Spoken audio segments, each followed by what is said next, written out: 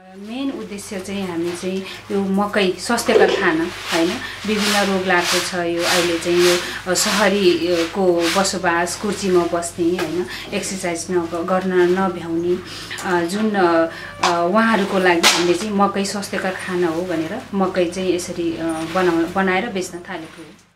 Indirectly चाहिँ यसबाट धेरैजनालाई चाहिँ फाइदा पुऱ्याएको छ। कसरी भने उत्पादन किसानीबाट हामीले खरिद गर्छौँ होइन? र यो हामीले ल्याइसकेपछि फेरि बजारमा हामीले पसल पसलमा राख्ने गर्छौँ। उहाँहरूलाई पनि हामीले चाहिँ फाइदा नै मुनाफा त दिने गर्छ नि त होइन? त्यसले गर्दा इन्डाइरेक्ट डाइरेक्ट धेरैजनालाई नै फाइदा छ।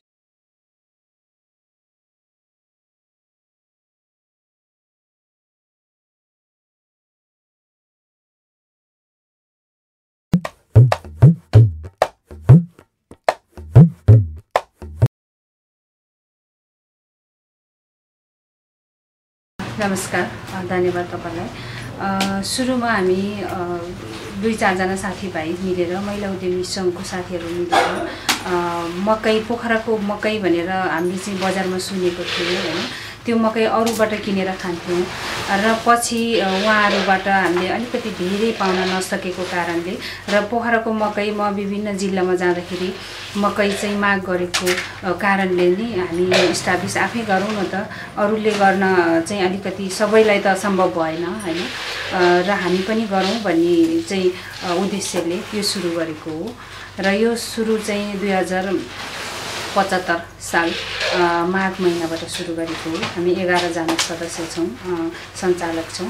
र यो नेपाल आदि राज्यभरि चाहिँ प्राय जिल्लामा चाहिँ हाम्रो यो उत्पादन पुगेको पुगेको छ। कुन उद्देश्य कुन प्रयोजनको निम्ति पोखरालाई चिनाउ चिनाउनका निम्ति मात्र हो कि वा अन्य कुनै प्रायोजन तपाईँको प्रयोजन छ तपाईँहरूको उद्देश्य छ? त्यसबारे पनि विस्तृत बताइदिनुहोस् न। यो पोखरा त आफैमा चिनिसकेको अवस्था होइन? पोखरालाई मैले चिनाउनु पर्छ जस्तो त मलाई लाग्दैन मकैको मकैको माध्यमबाट भन्दा पनि हो ठिक छ मकै चाहिँ यहाँ उत्पादन हामीले गरिरहेको छौँ त्यो आफैमा चिनिन्छ पनि। मेन उद्देश्य चाहिँ हामी चाहिँ यो मकै स्वास्थ्यकर खाना होइन?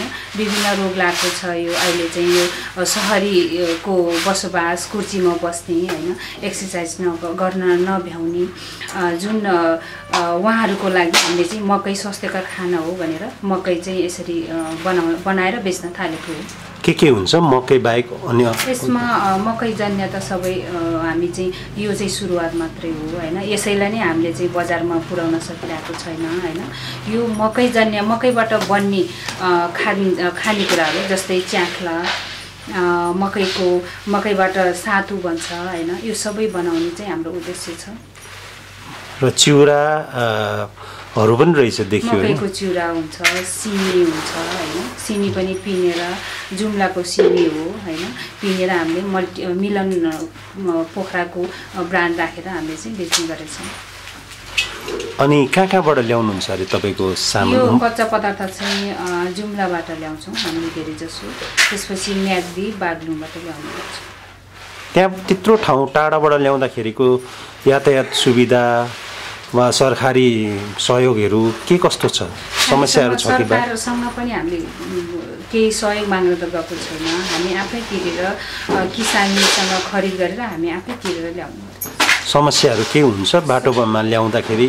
समस्या भन्दा नि उहाँ चाहिँ कलेक्सन एकजना हामीले चाहिँ एकजना मा कलेक्टर राखेका छौँ। उहाँले कलेक्सन गरिदिनुहुन्छ र हामीले पठाइदिनुहुन्छ। समस्या त एकदमै टाढा भएको कारणले चाहिँ गाह्रो त एकदमै ढुवानीमै खर्च हुन्छ। ढुवानीमा बढी खर्च हुन्छ है। त्यो किसानीलाई दिन पाउँथ्यो नि त टाढा नभएको भए यहाँ यो नजिक नजिकै उत्पादन हुने भए किसानीले अलिकति बढी पैसा पर्थ्यो होइन। उहाँहरूको मेहनत चाहिँ राम्रो हामीले मेहनतको पैसा चाहिँ अलिक दिन सकिन्थ्यो यी चिजहरू पोखरामै उपलब्ध गर हुन सक्दैन? पोखरामा उत्पादन हुन सक्छ नसक्ने छैन तर यो चाहिँ किसानमा यो मकैको खेतीमा एकदमै दुःख। मान्छेलाई चाहिँ अहिले भर्खरै धेरै पैसा कमाउन चाहिँ चाहन्छ होइन? यो यो कारणले पनि यहाँ पोखरामा चाहिँ उत्पादन छैन मकैको चाहिँ। अनि व्यापार चाहिँ कस्तो छ र मलाई उद्यमीहरू जो नयाँ तपाईँको यो भिडियो हेरेर जो प्रोत्साहित हुन्छ उहाँहरूले पनि गर्नु चाहना राख राख्यो भने कस्तो व्यापार कस्तो होला? व्यापार भन्दा पनि यसलाई मकैको प्रमोट हामीले गर्नु पर्यो मकै खानुपर्छ भन्ने कुरा चाहिँ हामीले जनमानसमा पुर्याउनु पर्यो होइन? यो अवश्य राम्रो हुन्छ। जुन कोही साथीभाइ दिदीबहिनीले गर्न चाहे पनि यो राम्रो हुन्छ। आफ्नो आफ्नो क्षेत्रमा गर्ने हो स्वास्थ्यको लागि चाहिँ निकै स्वास्थ्यको लागि राम्रो छ एकदम। तपाईँ त महिला उद्यमी पनि होइन? धेरै उद्यमी अब दिदीबहिनीहरू देखेँ मैले यहाँ। कतिजना कर्मचारी वा कतिजना महिला दिदीबहिनीलाई तपाईँले जागिर दिनुभएको छ र उहाँहरूको पारिश्रमिक कस्तो छ? भन्न मिल्छ भने बताइदिनुहोस् न। अवश्य पनि मिल्छ। हाम्रो चाहिँ अहिले सातजना म आफै पनि भएको कारणले आठजना भनौँ यहाँ इन्भल्भ छौँ होइन। र यो चाहिँ डाइरेक्ट डाइरेक्ट भनौँ डाइरेक्ट स्टाफ भनौँ हाम्रो कर्मचारी फाइदा हामी जागिर चाहिँ सातजना भयो होइन। म भनेर आठजना। र इन्डाइरेक्टली चाहिँ यसबाट धेरैजनालाई चाहिँ फाइदा पुऱ्याएको छ। कसरी भने उत्पादन किसानीबाट हामीले खरिद गर्छौँ होइन? र यो हामीले ल्याइसकेपछि फेरि बजारमा हामीले पसल पसलमा राख्ने गर्छौँ। उहाँहरूलाई पनि हामीले चाहिँ फाइदा नै मुनाफा त दिने गर्छ नि त होइन? त्यसले गर्दा इन्डाइरेक्ट डाइरेक्ट धेरैजनालाई नै फाइदा छ।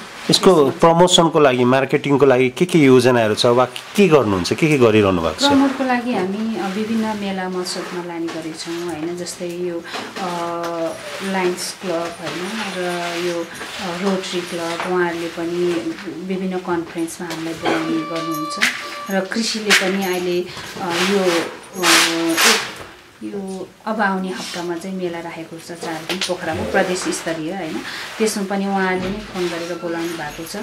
सरकारले पनि प्रमोटको लागि सहयोग गर्नुभएको छ। अनुदान सहयोग त्यस्तो केही छ? अनुदान पनि छ। हामी पोखरा महानगरबाट चाहिँ मिलको लागि फिफ्टी पर्सेन्ट अनुदान पाएको छौँ।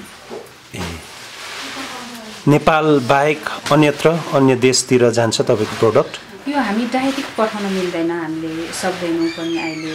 र हामीसँग उत्पादन पनि अलिक कम नै छौँ होइन। र आफ आफ्नो आफन्तले चाहिँ एकदम धेरै पठाउने गर्छ हामी युके पठाउने अमेरिका पठाउने होइन हङकङ पठाउने भनेर चाहिँ एकदम लिन चाहिँ आउने गर्छ। अत्यन्तै खुसी लाग्यो तपाईँहरूको यो ऊर्जाशील कार्य देखेर। धन्यवाद दिन चाहन्छु हामी च्यानलको तर्फबाट। अन्तिममा महिला दिदी बहिनीको निम्ति तपाईँ केही भन्न चाहनुहुन्छ वा उद्यमीको निम्ति? सम्पूर्ण महिला दिदीबहिनीहरूको लागि म के भन्न चाहन्छु भने अवश्य गर्नुहोस् केही त हुन्छ होइन।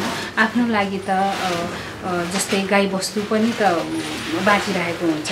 कसैको लागि कसैलाई रोजगार दिनलाई कसैलाई स्वस्थकर बनाउनलाई कसैको सामान खरिद गर्नलाई या आफू पनि केही गर्नुहोस् भन्न चाहिँ चाहन्छु। हस् धन्यवाद। धन्यवाद।